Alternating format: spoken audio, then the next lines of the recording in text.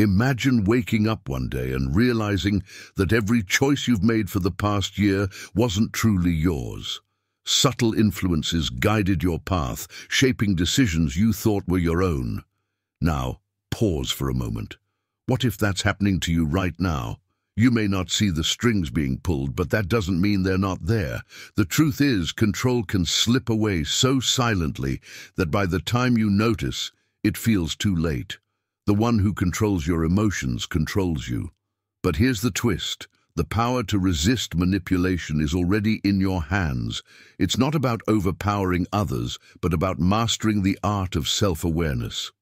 If you're tired of feeling like your choices aren't your own, stay tuned because the strategies we'll explore today will show you how to defend your will against even the subtlest attempts to steer your life.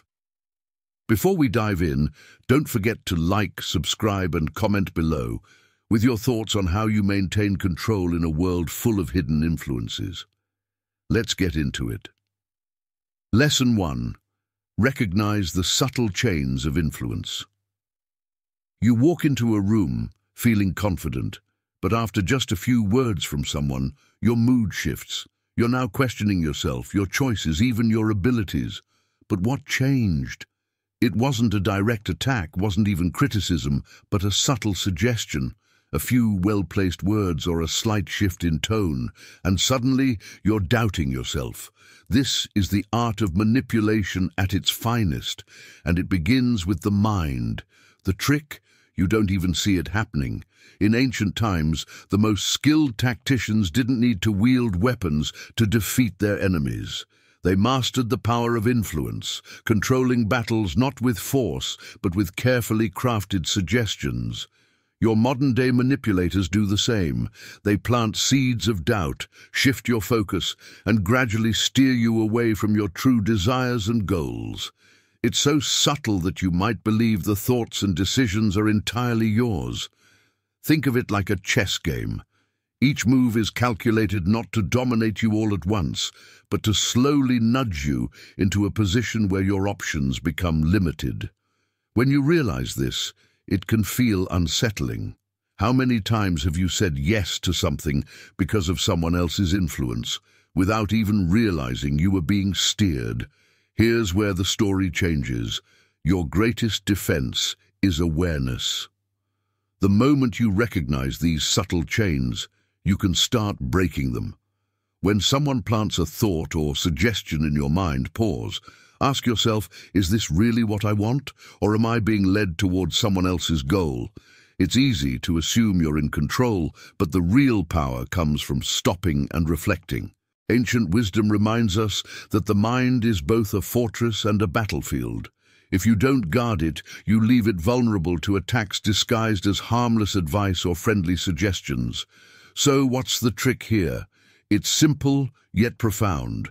Begin by questioning everything, especially the subtle influences that seem insignificant. It's not paranoia, it's awareness.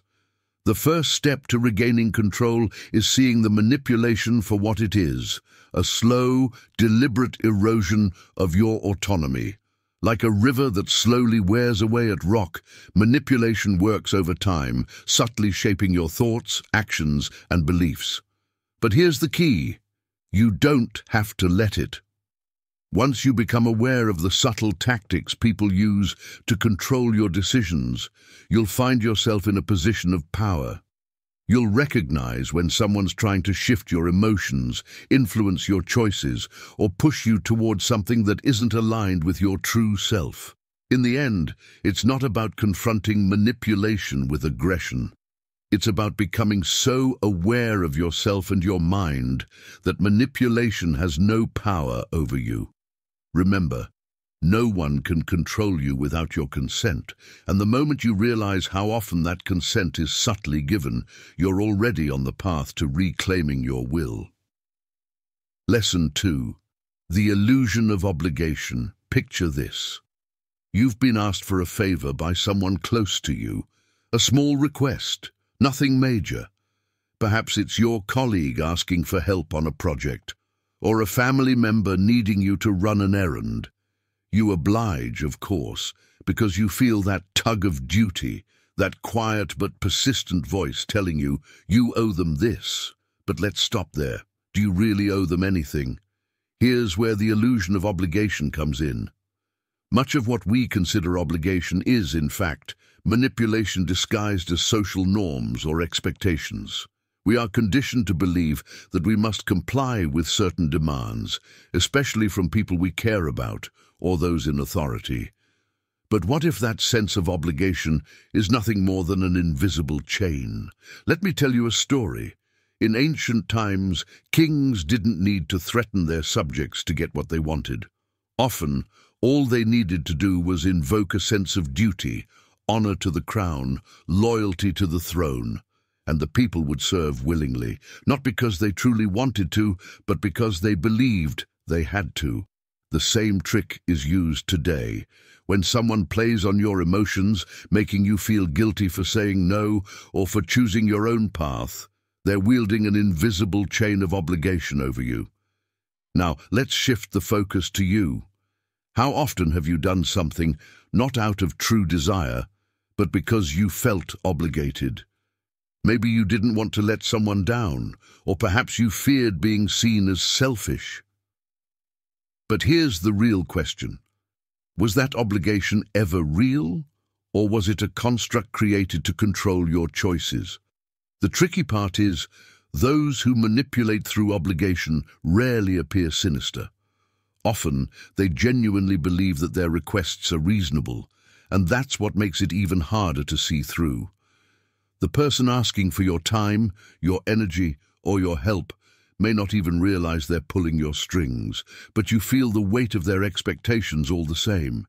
Ancient philosophers understood this well. They knew that freedom doesn't only come from breaking physical chains, but from recognizing and cutting the emotional and psychological ones too.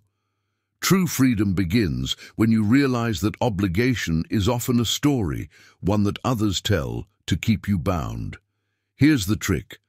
The next time you feel that familiar tug of obligation, pause. Ask yourself, am I doing this because I truly want to, or because I feel like I have to? That single moment of reflection is all it takes to reveal whether you're acting from your own will or under the influence of someone else's expectations. And here's where the power lies. When you start questioning those invisible obligations, you'll begin to notice how often you've been nudged, pressured, or guilted into doing things you didn't truly want to do. This awareness doesn't mean you stop helping others, but it does mean that you help from a place of choice, not obligation. You may be surprised how much of your time and energy has been spent fulfilling the imagined obligations of others. But once you break free from that illusion, you reclaim not just your time, but your autonomy. You learn to act on your terms, not out of some false sense of duty imposed by others. This is true freedom, knowing that your actions are yours and yours alone. Lesson 3. The Trap of Flattery Imagine this. You're at work, and a colleague compliments you on a job well done. Not just any compliment, though. It's over the top, almost lavish. You're the backbone of this team, they say. We couldn't do any of this without you. Your ego swells a bit, doesn't it? It feels good to be praised, to be acknowledged as indispensable. But beware, there's a hidden game being played here.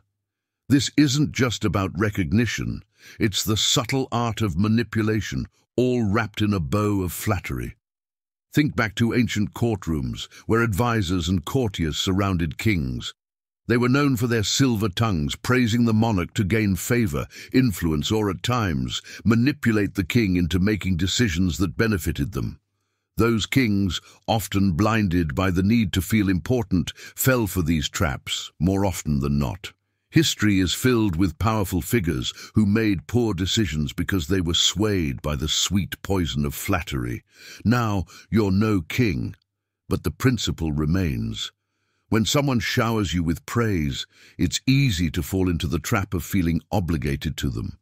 You might even begin to act in ways that aren't truly aligned with your goals or values, all because your ego is being stroked.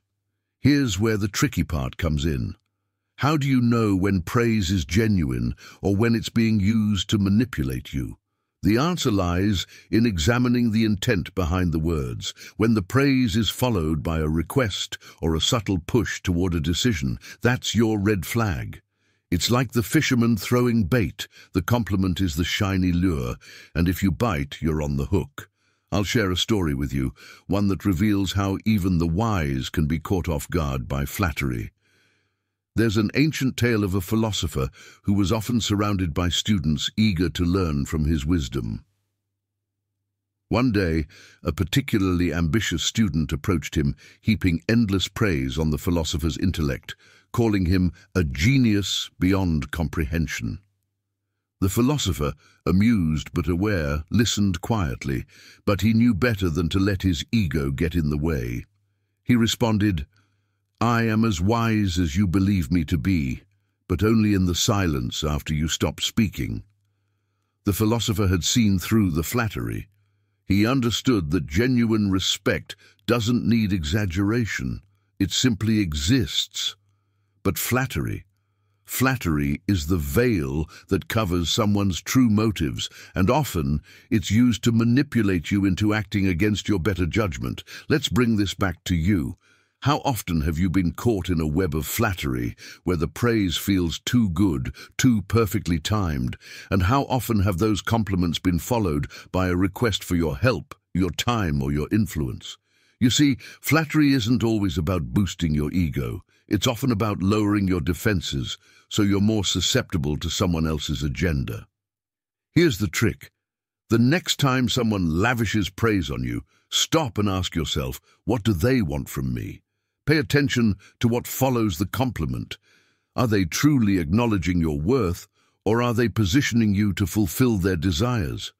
Recognizing the difference will allow you to see flattery for what it is, just another tool in the manipulator's kit. In the end, you must remember that genuine respect and admiration don't need to be over the top. They are steady, consistent, and expect nothing in return. But flattery, Flattery is fleeting and comes with hidden strings. Your power lies in knowing when to accept praise and when to recognize it as the bait meant to reel you into someone else's plans. Stay aware and don't let your ego be the leash they use to lead you where they want. Lesson 4. The Illusion of Consensus Picture yourself in a meeting room, surrounded by colleagues who are all nodding in agreement to a decision that just doesn't sit right with you. The room feels like a current, everyone flowing in the same direction, and there you are, hesitating, uncertain if your objection will be welcomed or shunned. But something is pulling at you, a subtle urge to just go along with the crowd. After all, if everyone agrees, they must be right, right? Here's where the trick lies. What if the consensus around you isn't real? What if it's been carefully orchestrated to nudge you into conformity, using the pressure of groupthink to manipulate your actions? This is one of the oldest forms of subtle control, creating the illusion that everyone's on the same page, so you better follow along. Let me tell you a story that dates back to the ancient philosophers who questioned everything, even the apparent consensus of their peers. There's a tale of a wise man who was invited to a royal court to share his advice on a pressing matter. When he arrived, he noticed that all the advisers were already in agreement on a course of action, and the king was pleased that his court had found such unity. But the wise man, with his discerning eye, saw through this harmony. He asked a simple question. Did anyone here arrive at a different conclusion even for a moment before falling in line. Silence fell over the room. Slowly, a few hesitant hands were raised. The king, puzzled, asked why they hadn't spoken up before. Their response? We thought we were alone in our doubts. That's the illusion of consensus in action. It wasn't that everyone truly agreed. They just didn't want to be the odd one out. The wise man knew that the most dangerous decisions are often the ones made in silence, where dissent is stifled by the overwhelming pull of the majority. Consensus, when manufactured, is a powerful tool of manipulation because it preys on our innate desire to belong, to not stand out, and to avoid conflict. You see, this trick is used in so many aspects of life, from business to personal relationships. You might notice it in group dynamics, where decisions are made quickly and dissenting voices are drowned out or never even rise to the surface. Or perhaps it's more subtle, like when a partner, friend or colleague keeps pushing an idea and casually mentions, everyone else thinks this is the best way forward, making you feel isolated in your doubts. It's designed to make you question yourself, to manipulate your natural tendency to trust in the collective judgment over your own instincts. But here's the twist. Often the consensus isn't as unanimous as it seems. People, just like you, may have doubts but stay silent because they assume no one else shares their concerns. This is the secret power of illusion, making you believe that to speak up is to stand alone, when in truth others may be waiting for someone to break the spell. So, how do you defend your will against this type of manipulation? The first step is to question the consensus. Ask yourself, is this agreement real or has it been manufactured? Pay attention to the way the decision is being presented. Are dissenting voices truly being heard or are they being swept aside in favor of a quick resolution? And most importantly, trust your gut. If something doesn't feel right, even if everyone else seems on board, it's worth speaking up. The trick, of course, is in knowing when consensus is genuine and when it's a facade. Genuine consensus comes from open discussion, where all voices are heard and respected, but manipulation, that comes when the pressure to conform overrides the truth of what's really going on. Next time you find yourself in a room full of nodding heads, remember the ancient philosopher who dared to ask, did anyone here arrive at a different conclusion? Your ability to see through the illusion of consensus is one of your greatest defenses against manipulation. Use it wisely. Remember that cliff we stood on at the beginning? Now the question is no longer about standing at the edge, questioning the next step. Now, you're in control, staring out into the vast horizon, fully aware that the journey ahead is yours to navigate. What felt like uncertainty has now transformed into opportunity, and the greatest power lies in how you choose to wield it. But here's the real question. What will you do with this knowledge? Will it simply be another moment of reflection, or will you take action? That's entirely up to you. If this resonated with you, don't just close this chapter. Hit that subscribe button and leave a comment below with a question no one else can answer. Not because the answer isn't there, but because it's a question only you can unlock for yourself. And don't forget to share this with someone who's standing on their own metaphorical cliff, waiting for a push toward clarity. This may feel like the end, but it's only the beginning of your next step. Keep the conversation going, explore the paths that remain undiscovered, and remember, each choice you make is a chisel shaping the masterpiece that is your life.